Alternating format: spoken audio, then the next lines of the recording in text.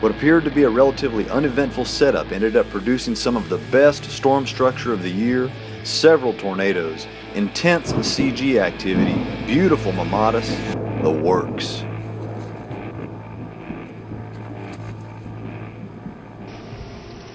Early in the period on this day, forecasts suggested a mainly multicellular event with a small chance of supercells.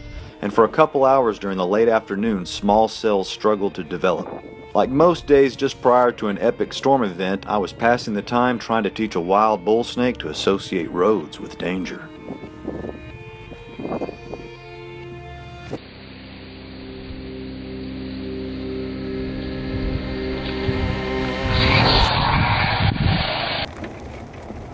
At 635, our struggling cells congealed into a messy multi-cell cluster with two organized rotating updrafts. Here I'm positioned to watch both bases, doubling my chances of seeing awesomeness. And like most of these scenarios, the tail end updraft strengthened and dominated. There it is. Tornado on the ground.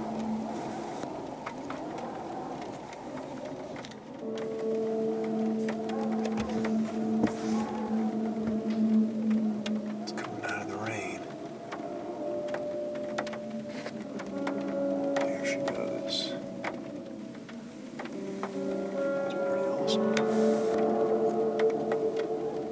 Stuck on the dirt roads. Thought the storm would be moving faster.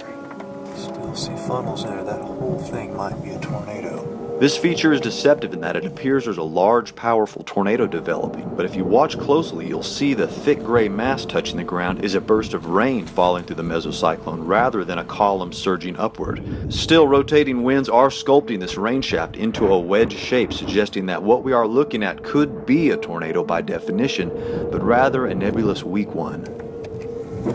Boom! Cranking lightning. Constant flashes of lightning. Boom. After a couple tornadoes, an intense barrage of cloud to ground lightning strikes ensued. During waves of peak activity, lightning was striking the ground about every two to three seconds. Close one a second.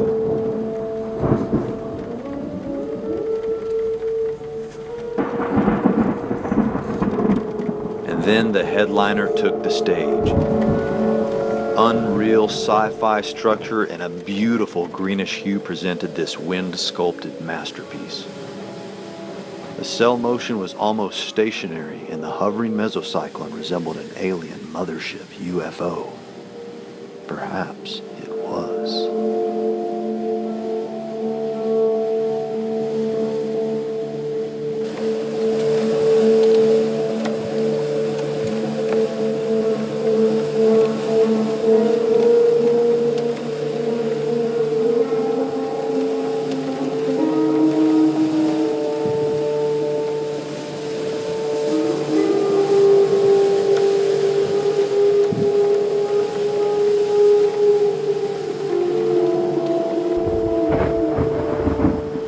Chatting with a western Kansas farmer one May afternoon and warned him there was a storm heading his way capable of producing tornadoes.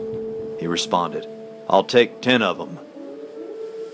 The odds of a tornado striking one's home is extremely small, even in western Kansas. A much more rational threat is drought.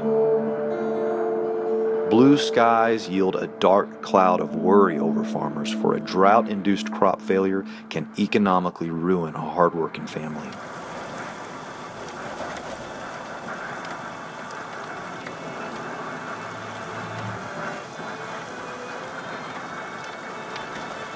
The locals near Leoti, Kansas got their rain, and as the sun set, they were treated to a magic hour encore of color, followed by a psychedelic light show.